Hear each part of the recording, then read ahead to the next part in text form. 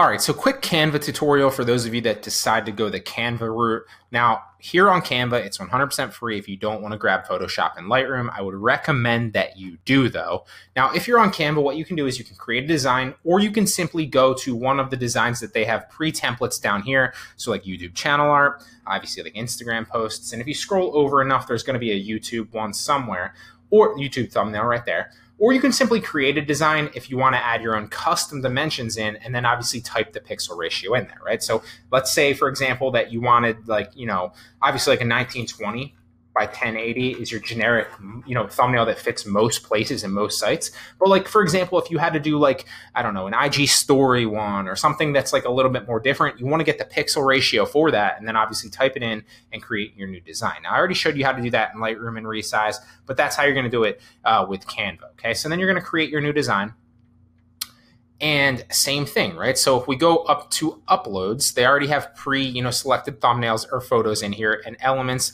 you know, some text and some stuff that you can add for backgrounds. Now you can obviously add a background layer here if you want. You can also fill it with a background color or you can add a picture just like I showed you with Lightroom. Okay, so we already have that picture from our downloads that I showed you before. So we're gonna upload an image into our photo. And keep in mind too that now because we created those custom dimensions for 1920 by 1080, we have the actual thumbnail already sized that we can just drag out, uh, you know, to our, you know, pixel ratio. So if we go to downloads really fast, here's the original photo that we grabbed. Um, and here's the one that we updated in Lightroom. So we want to grab the original one so I can show you how this looks, okay?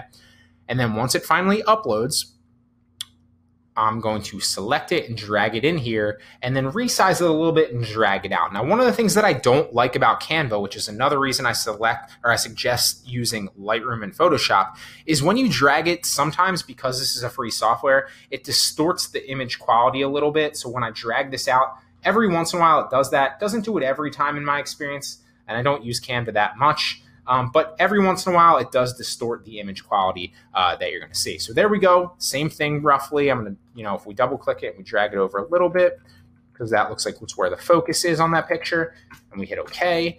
There we go. So now we have a 1920 by 1080, same rough background image, but we need to brighten it, okay? So if we select the picture now, right? And you click on the actual image and you come up here to adjust, then you can obviously drag the contrast, same thing as Lightroom. It's not going to be as good, but it still will do its job. And remember, this is free. You can also drag the adjust the saturation a little bit as well. And you can also tint it or, you know, increase or decrease the brightness as you see fit, obviously depending on whether it's a bright or a dark photo, okay? You can also play around with the other ones, but the only ones that I've ever really used, I touched with tint a little bit, although I don't really recommend that you do that. It can look good on some pictures, but, you know, like I said, use it sparingly or it's going to look too cartoonish. Really, all you really need to know is brightness is there if you need it contrast and saturation, just like in Lightroom. Although one of the things that isn't in Lightroom is the actual, uh, you ha- you're not going to have the vibrance option, okay?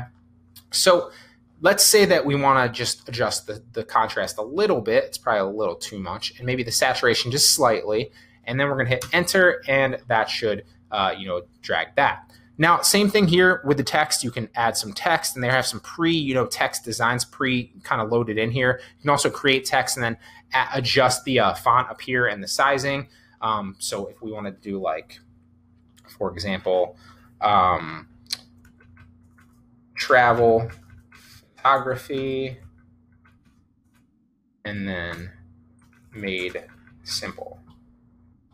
And then we drag that up and we can also adjust the like i said you can you can switch the font here. Some of them are paid fonts but there's a lot of free ones as well. You can adjust the color of that. You can also adjust the sizing. You can bring it to life with an actual if you go over to elements again you can bring it to life with a rectangle in the background. It's not going to look the same as obviously a photoshop one will but it's just something that you can you know keep in mind and then if you needed to position this you could hit position and then backward and then do it like that, right? So, like I said, this is not ideal, but if you're looking for something free, this technique can obviously help you with that. So, I'm going to X out of this and I'm just going to add this up here. And then, obviously, if I wanted to, I could bring my own picture in as well, just to kind of give you some reference.